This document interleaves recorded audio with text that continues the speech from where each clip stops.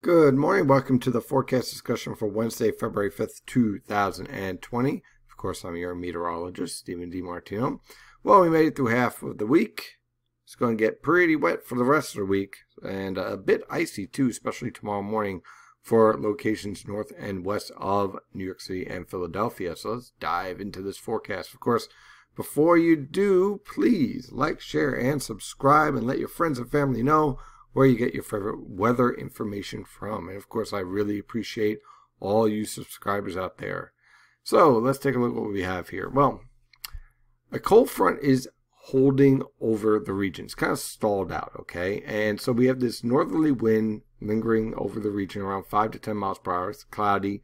Scattered showers. Overall, they're pretty light.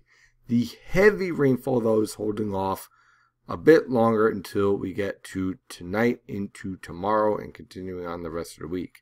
Now, this whole pattern is driven by this frontal boundary here. Now, you have temperatures holding in the mid 30s to low 40s throughout the region, and pretty much the temperatures are going nowhere today as these waves of low pressure march through and overcast clouds continue with a passing shower here and there.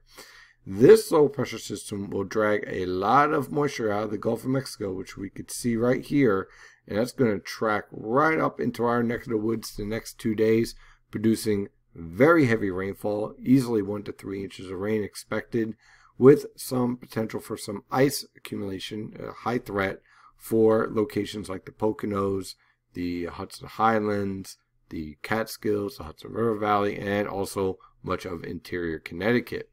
The good news is that the cold air will give way, and then it will change over to rain by the time we get to the late morning tomorrow. But tomorrow morning's rush hour for the northern interior, basically these areas in zone two and three, are going to be really dangerous. Okay, so if you have plans to go out tomorrow morning in these areas, I would strongly suggest staying home.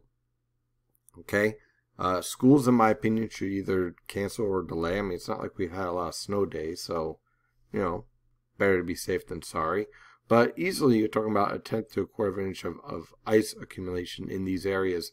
And so we're watching that very carefully. Tomorrow morning, it's just going to be a uh, rough period for travel in those locations. Now, as you head down towards the Philadelphia and New York City metropolitan areas, we're pretty much dealing with rain, but a lot of it. And so there's going to be the potential here for some flash flooding. Now, in zones two and three, there's also a mention of snow especially zone three, trace of two inches.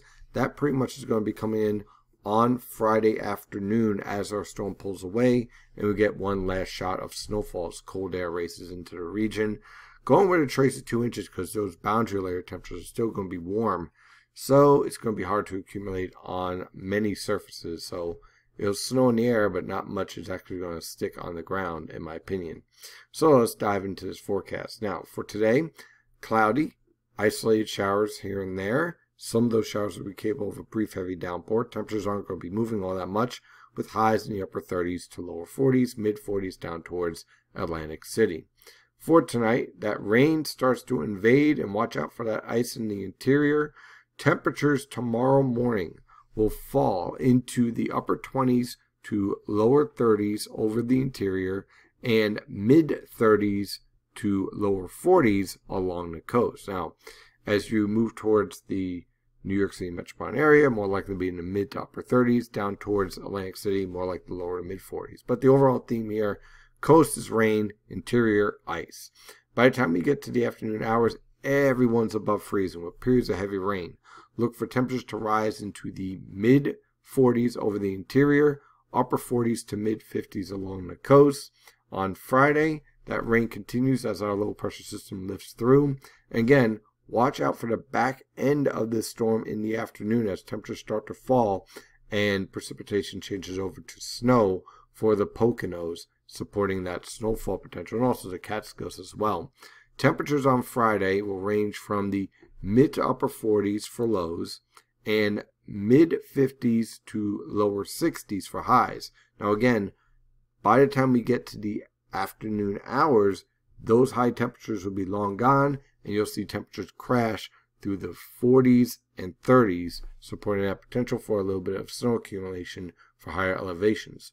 On Saturday, Sky cloud cover is expected with lows in the upper 20s, highs in the mid to upper 30s. On Sunday, a weak low pressure system will pass through with some scattered rain and snow showers. Look for lows in the upper 20s, highs in the mid 40s. On Monday, sky cloud cover is expected with lows in the mid 30s, highs in the upper 40s to mid 50s. On Tuesday, a cold front will stall over the region and then rebound on Wednesday. It's going to lead to scattered showers throughout the region on both days, with lows in the mid 30s to lower 40s and highs in the mid to upper 40s. That is your forecast discussion for today. Of course, I'm your meteorologist, Steven DiMartino, and as always, stay safe out there.